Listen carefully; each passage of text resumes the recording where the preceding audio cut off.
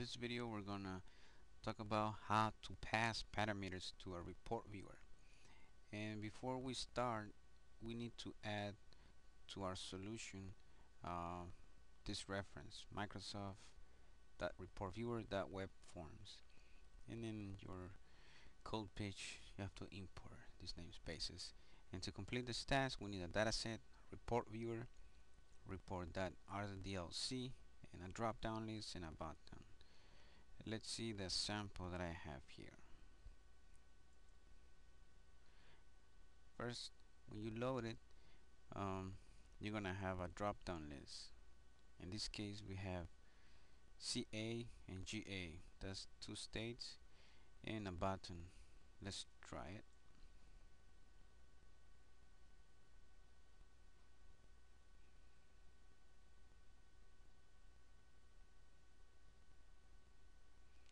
as you can see we have our state California. Now let's choose Georgia. And pass state Georgia. Actually GA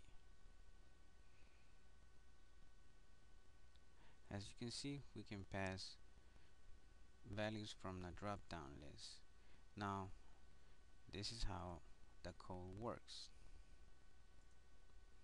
before uh, you start your project make sure your table is ready. In this case we have just three columns city state and zip. After you have the table done you need to create a data set like this. A data set like this. And your SQL statement includes a parameter in this case we're gonna pass state.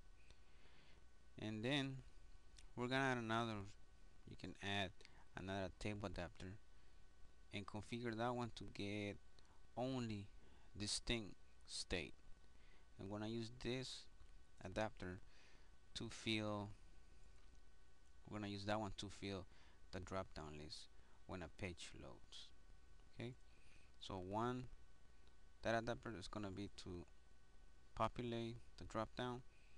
And the second one we're gonna pass the value from here drop down the list and pass it on to the report viewer.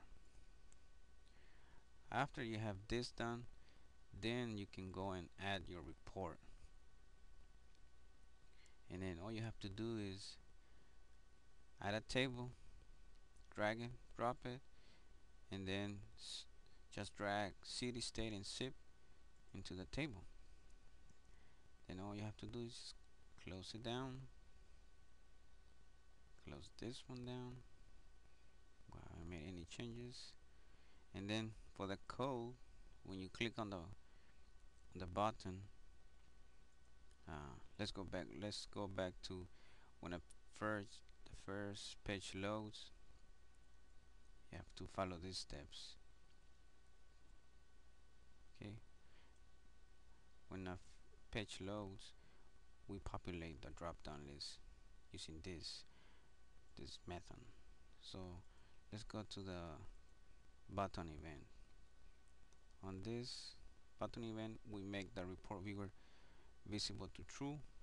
We create a data set and we're using this technique uh, using the data set that we made and populating filling the data set and getting the value from the drop down list and creating a data report data source passing our our data source ID and our data set.